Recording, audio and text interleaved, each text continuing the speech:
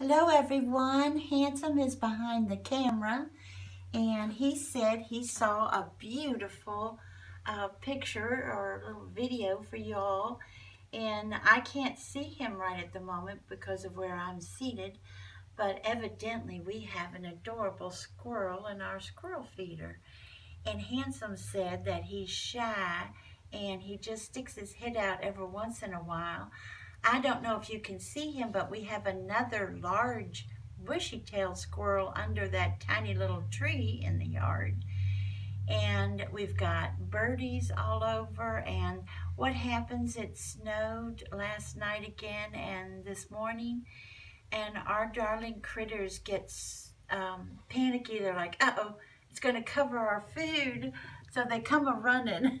And when I look out in the distance, I can see twerp twerp because I see that, um, well, our live twerp twerp. I see that red, those red feathers way back in the distance.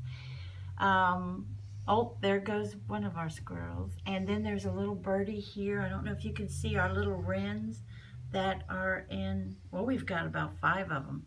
I don't know if, if Handsome's able to capture them, but when you see the shrubbery um, moving a great deal, it's them jumping on the limbs. and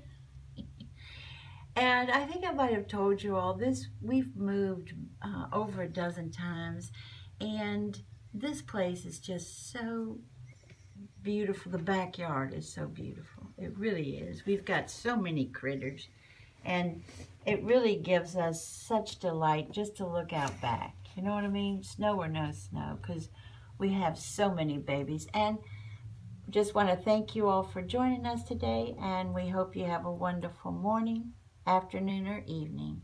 Bye-bye, everybody.